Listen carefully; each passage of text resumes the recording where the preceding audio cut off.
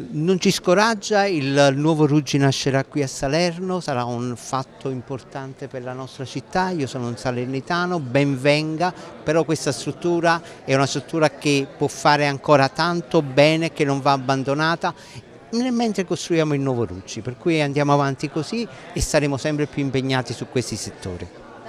Il nuovo Ruggi dovrà aspettare i tempi del Tardinapoli chiamato a decidere sull'assegnazione dell'appalto per la realizzazione del nuovo ospedale di Salerno. Una notizia che non scoraggia però i vertici dell'azienda ospedaliera universitaria Ruggi di Salerno che hanno mostrato grande orgoglio oggi nell'ospitare la giornata mondiale nella lotta contro il cancro infantile. Il commissario Vincenzo D'Amato è felice anche della notizia del nuovo bando che porterà 100 nuovi operatori sociosanitari all'interno del Ruggi.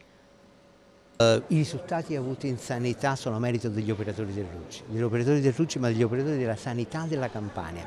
Eh, senz'altro la carenza ci sta, ci sta ancora, non si hanno le bacchette magiche, ma tanto, tanto, tanto stiamo facendo. Eh, abbiamo, abbiamo, fatto numerosissimi concorsi, portato a termine tanti concorsi dirigenti, per dirigenti medici, abbiamo portato a termine concorsi per gastroenterologi, neurologi, nefrologi, eh, cardiologi, ma tanti, tanti e tanti altri, ma non solo, per gli infermieri abbiamo pubblicato il concorso, lei lo sa, dei 160 infermieri, ieri la l'ASL ha pubblicato il concorso dei 150 OSS, 100 per i Ruggi, 50 per l'azienda sanitaria Salerno, mm, abbiamo pubblicato la settimana scorsa una graduatoria per aderire, una delibera per aderire alla graduatoria del Cardarelli, sempre per gli infermieri, 40 infermieri che arriveranno di qui a breve, insomma altri concorsi per uh, il campo dell'emergenza, per la medicina d'accettazione d'urgenza, è previsto l'espletamento il 3 e il 4 del prossimo mese. 34, 39 domande, speriamo che tutti partecipino,